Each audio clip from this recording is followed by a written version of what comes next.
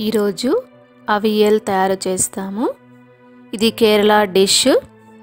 దీనికోసం కాయగూరలన్నీ ఒకే సైజులో కట్ చేసుకోవాలి. చూడండి ఇలా. క్యారెట్ కందగడ్డ పచ్చి అరటికాయ ఎర్ర గుమ్మడికాయ బీన్స్.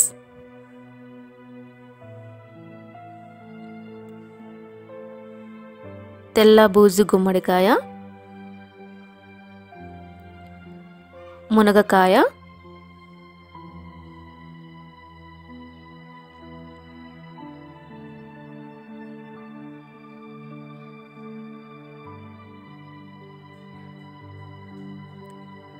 పచ్చి కొబ్బెర పచ్చిమిరపకాయ కరివేపాకుని తీసుకోవాలి. అర్ధ కప్పు పెరుగు కూడా తీసుకోవాలి.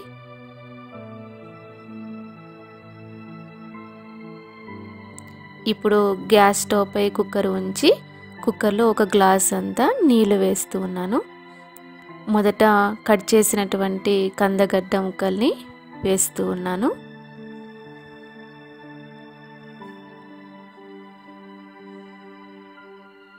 దీని తర్వాత పచ్చి అరటికాయ వేస్తూ ఉన్నాను.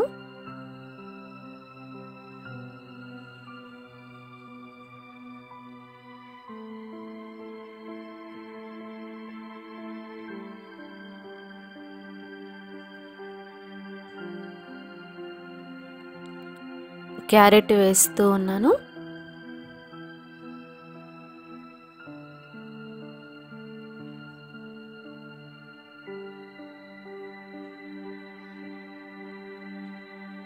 క్యారెట్ తర్వాత తెల్ల గుమ్మడికాయ.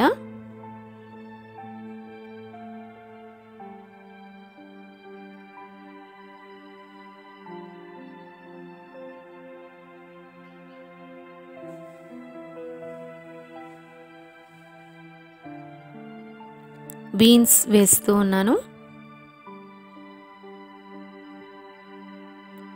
బీన్స్ తర్వాత ఎర్ర గుమ్మడికాయ.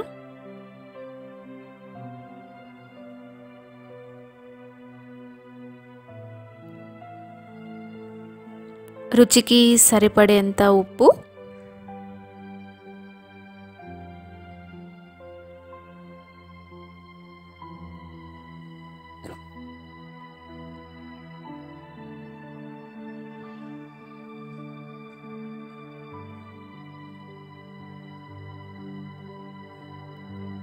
కొద్దిగా పసుపు.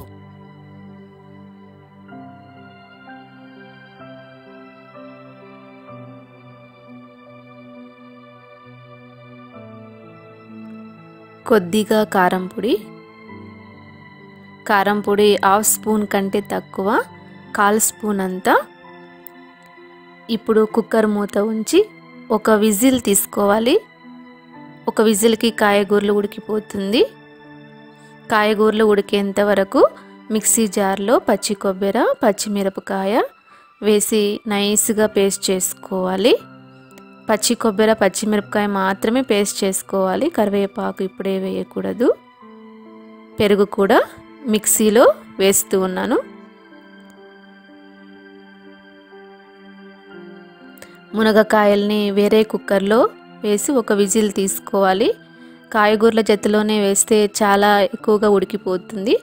అందుగా వేరుగా ఉడికించాలి. చూడండి కాయగూరలన్నీ ఉడికిపోయినాయి.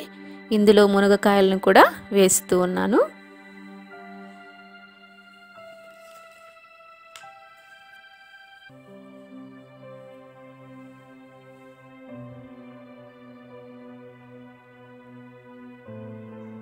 కొబ్బరి పేస్ట్ ఏదైతే చేసినామో దాన్ని ఇందులో వేస్తూ ఉన్నాను. మిక్సీ జార్లో కొద్దిగా నీళ్ళు వేసి దాన్ని కూడా ఇందులో వేస్తూ ఉన్నాను. దీన్ని కొద్దిగా కలుపుకోవాలి.